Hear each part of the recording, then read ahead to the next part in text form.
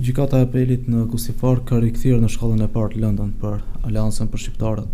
Çfarë do të ndodhë nëse humbni partinë? Do formoni parti të re? Albion, është e vërtetë që pati një kthim të lëndës përsëri në Gjykatën Themelore, që pala tjetër e transmetoi gabimisht në opinion, por unë dua në këtë rast të them edhe diçka tjetër.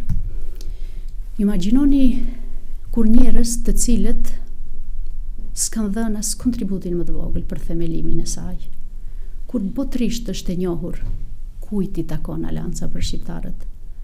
Kush jo vetëm që e ka themeluar, e ka ngritur, e ka rritur, por edhe me gjakun e tij janë shkronjat Aleanca për Shqiptarët, është amblema shqiponja e Aleancës për Shqiptarët.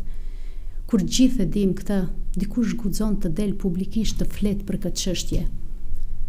E kuptoni pra këta njerëz, vetë mund ta mendojmë çka mund të jenë gjendje të bëjnë për gjëra të cilat nuk duken publikisht.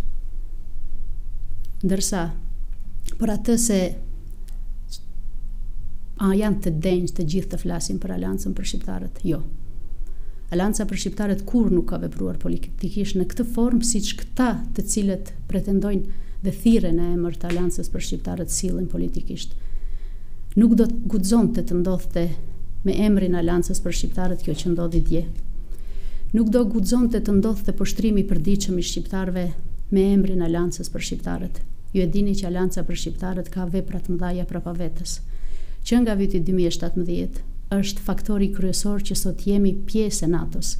Është faktori kryesor që kemi ligjin për përdorimin e gjuhëve të cilët sot këta s'janë në gjendje as ta mbrojnë.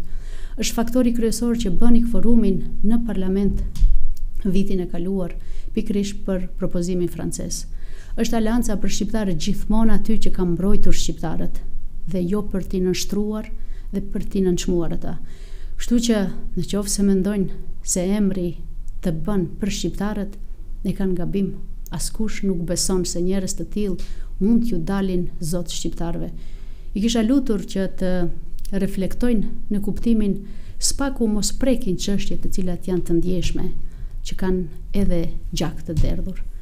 Thjesht, jo për ne, ta bëjnë për vetveten.